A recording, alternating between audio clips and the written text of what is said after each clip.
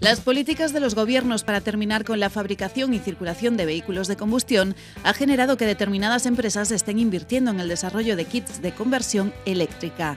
Una solución que contribuiría a agilizar los planes de la movilidad sostenible y sobre todo les daría una segunda oportunidad a los coches clásicos.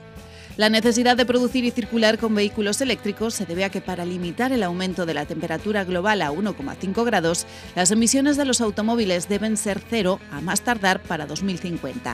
Eso significa que para cumplir con los plazos, Europa deberá vender solo vehículos eléctricos a principios de la década que viene, según la Junta Europea de Transporte y Medio Ambiente. Hay que tener en cuenta que el transporte por carretera es la mayor fuente de emisiones de CO2 del viejo continente y representa el 20% de todas las emisiones.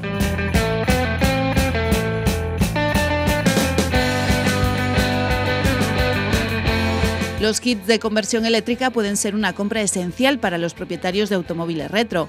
En España, por ejemplo, los planes gubernamentales quieren prohibir la venta de vehículos gasolina y diésel en 2030. La mayoría de ciudades de nuestro país se han sumado ya a la restricción de circular con un coche de más de 15 años por sus calles más concurridas.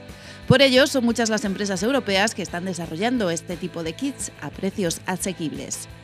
El objetivo no es otro que este tipo de vehículos de buena calidad, en vez de enviarlos al desguace, sean renovados con la instalación de baterías.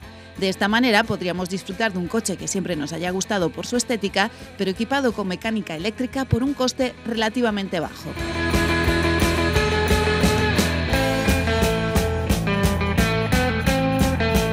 El precio de una conversión a vehículo eléctrico depende en gran medida del peso.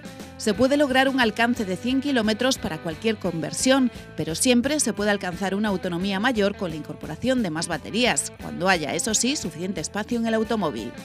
El coste estándar gira en torno a los 1.000 euros.